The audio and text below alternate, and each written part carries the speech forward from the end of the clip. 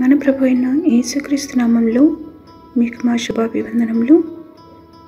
ఈరోజు దేవుని వాగ్దానము తన్ను ఆశ్రయించు వారి ఎడల యెహోవా దయాళుడు తన్ను వెదకు వారి ఎడల ఆయన దయచూపువాడు.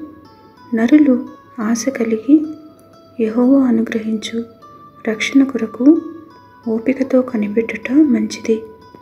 యవన కాలమున కాడిమూయుట నరునికి మేలు. అతని మీద దానిని మోపినవాడు యెహోవాయే.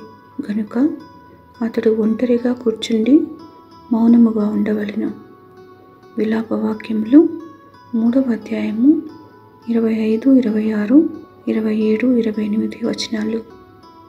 The Lord is good to those whose hope is in him to the one who seeks him it is good to wait quietly for the salvation of the Lord It is good for a man to bear the yoke while he is young.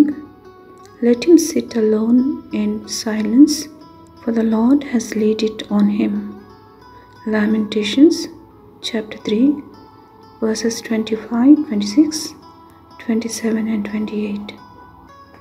ప్రార్థన ప్రేమగల తండ్రి మహోన్నతుడివై పరమందున్న మీ సింహాసనముపై ఆశీనుడిపై దీనులైన మాపై దయ చూపుచున్నందులకు వందనాలు. మాకు ఇరుకులో విశాలత కలుగచేస్తూ మా జీవితయాత్రలో ఇంతవరకు నడిపినందుకై మా వందనాలు.